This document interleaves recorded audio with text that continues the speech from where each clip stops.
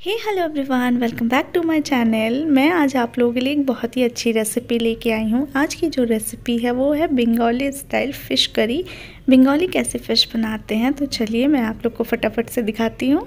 ये है रोहू मछली और इसे हमने बहुत ही अच्छे से धो लिया है।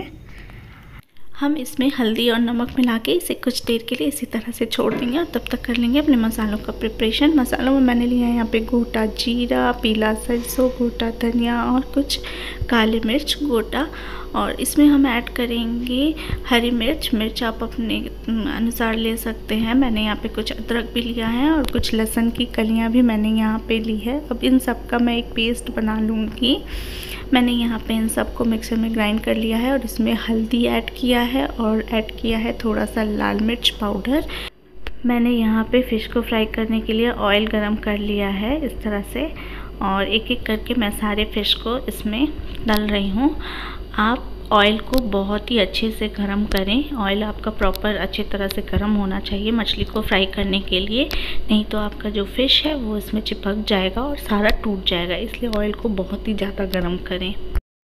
उसके बाद मैंने यहाँ पे लिया है एक कटा हुआ आलू, दो टमाटर और कुछ धनिया की पत्तियाँ जो मैं इसमें ऐड करूँगी। ये देखिए, मेरा फ़िश यहाँ पे फ्राई हो रहा है और ये हल्का ब्राउन भी हो गया और मैं इसे इस तरह से निकाल ले रही हूँ। ये देखिए, तेल मेरा प्रॉपर गर्म था, इसलिए मेरा एक भी फ़िश नहीं चिपका। इसलिए आपको तेल पूरा अच्छी तरह से गर्म करना है। और इसी तरह से मैं अपने सारे मछलियों को एक एक करके इस तरह से तल लूँगी। अब मैं इसमें आलू को भी जो कट के रखे हुआ था, मैंने उसे भी इस तरह से तल लिया है। आप चाहो तो आलू नहीं भी डाल सकते हैं बट बंगालीज़ अपने फ़िश में आलू ज़रूर ऐड करते हैं। मैंने इस तरह से अपनी सारी फ़िश फ्राई कर ली और मेरा यहाँ पे आलू भी ऑलमोस्ट फ्राई हो चुका है। अब मैं इसे निकाल ले रही हूँ। तो मेरी मछली और आलू दोनों ही फ्राई हो चुका है। ये देखिए। फ्राई करने के बाद जो तेल बचा था, मैंने इसमें पाँच फोरन का तड़का लगाया है और उसके बाद मैंने जो पिसे हुए मसाले रखे थे, वो अब मैं इसमें डाल दूँगी इस तरह से। ये आप देख सकते हैं, मैं इसमें सारे मसालों को ऐड कर दे रही हूँ।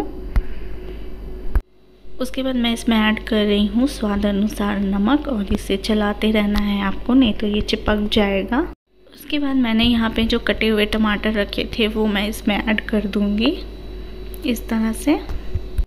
और अब हम इसे लो फ्लेम पे 10 मिनट तक बहुत ही अच्छे से फ्राई करेंगे। जब तक हमारा मसाला अच्छे से फ्राई ना हो जाए, हम इसी तरह से इसको फ्राई करते रहेंगे। और इसमें हमने पानी ऐड नहीं किया है। जो मसाले की जो पानी थी, मैंने उसी को ऐड किया है और मैंने यहाँ पे आलू भी ऐड कर दिया है उसी में इस तरह से। और देखिए, ऑलमोस्ट हमारा मसाला फ्राई हो चुका है। अब हम इसमें पानी ऐड कर रहे हैं।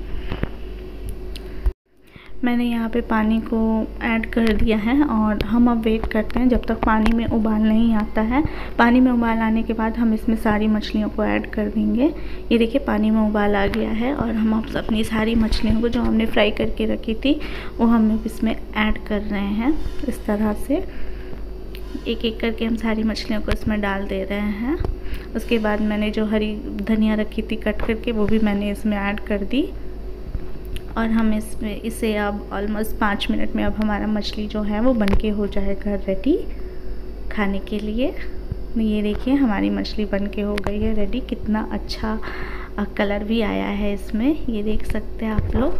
तो आप भी अगर बंगाली स्टाइल फ़िश खाना चाहते हैं तो प्लीज़ इसको ज़रूर ट्राई करें।